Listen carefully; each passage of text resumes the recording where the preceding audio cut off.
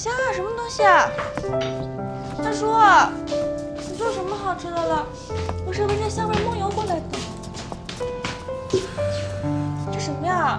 骨头汤，你得给留在锅里了，待会儿醒了之后慢慢喝。真的是骨头汤啊！大叔，你给周叔叔做了骨头汤，你要去看他呀？对啊，我，我跟你一起去。你不用，你在家休息吧。不行，你自己去我不放心。有什么不放心的？我都这么大岁数的人了。我是怕你跟周叔叔再嚷嚷起来。不会的，我都想好了，东西放下我就走啊。你等我，等我，我五分钟、四分钟、三分钟、两分钟、一分钟，我洗个脸。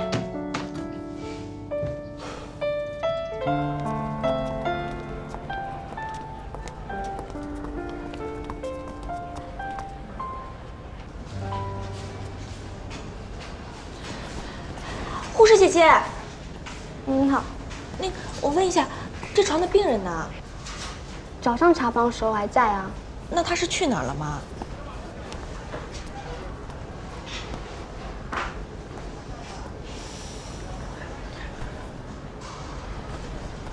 你看，我说什么来着？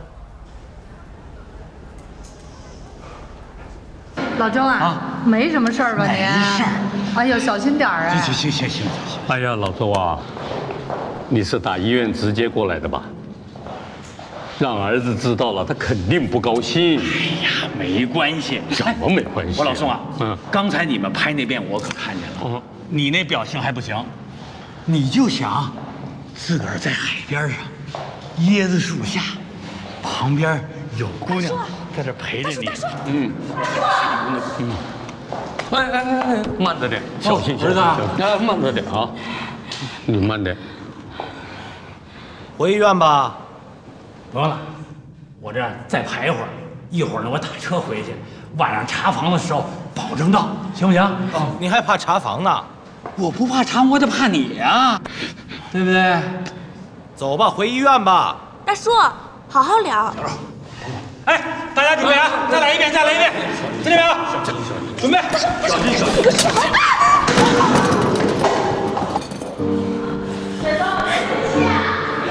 大叔，大叔，等会儿，等会儿，你刚才干嘛这么激动？跟叔叔就不能好好说话吗？行了，你就别劝我了。走，小邹，哎呀，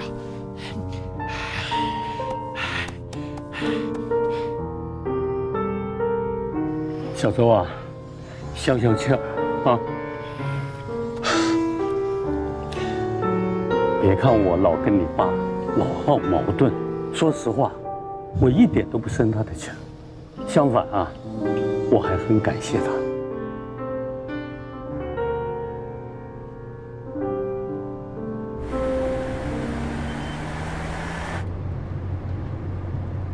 去年这个时候，我老伴走了，非常突然。我们相濡以沫了，过了四十年，他突然就这么离开了，我实在是承受不了，我更不能接受我一个人生活的日子。我儿子、媳妇在美国，他们就把我接了过去。我过去了，更加难受，差点抑郁了。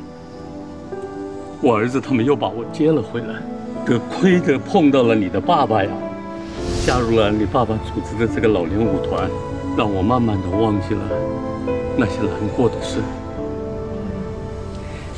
现在你爸爸就是我们这个舞团的核心人物，支撑着我们。不管碰到了什么烦心的事，只要有你的爸在，什么都解决了，大家一天到晚乐乐呵呵的。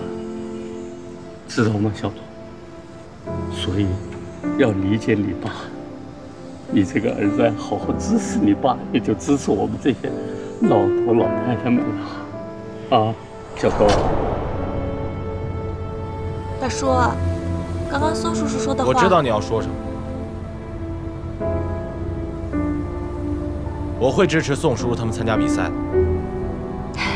但是不等于我理解我爸